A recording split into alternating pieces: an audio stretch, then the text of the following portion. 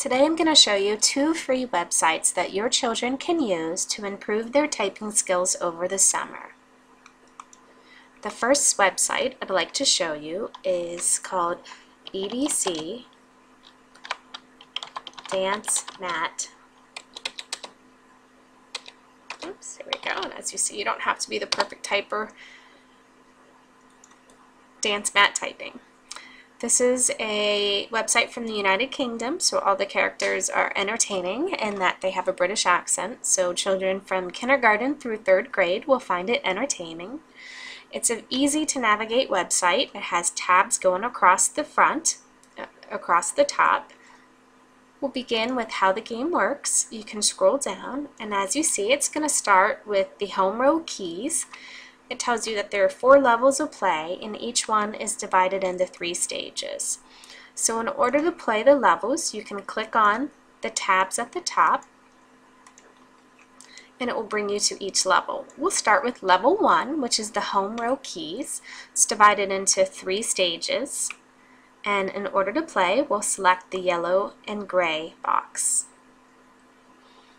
It will open up our typing tutor. It does not save how far you have progressed, so you might need a notepad on the side that your children can write what stage and what level they completed. We'll start by opening the home row video. It's a funny goat with a British accent. And they explain the directions to you and also they have them written at the same time. So it's a nice website for children who do not know how to read. Game. All you need to do is select Start Hi Game. there, rock and rollers. We're gonna have us a blast. Got those tapping feet on the ground. and it will navigate you through the typing tutor. The next website I want to show you how to get to is called ABCYA. It's a great website that has educational activities for math, English, language arts, and just a whole bunch of other fun educational activities for children. It's geared for kindergarten through fifth grade. Um, the one first typing tutor I'd like to point out is found on the home page at the bottom. For grades 2 and up, it's called a typing race. And it's going to open up and you'll hear it. It's a car race that children have to select keys in order to move on. Your cop car, you select a car. Now what I did is I selected the home row, but you could see there were different levels of play. It gives you directions, it does not read them. So your child does have to be able to read, or you can walk them through it the first time. Select go, and the goal of the game is to type the letters you see before your car hits them. You can always exit. And this website is not going to save your progress either. Now, if your child's a little bit older, let's say in fifth grade, in this area, you can find appropriate age level activities for your child.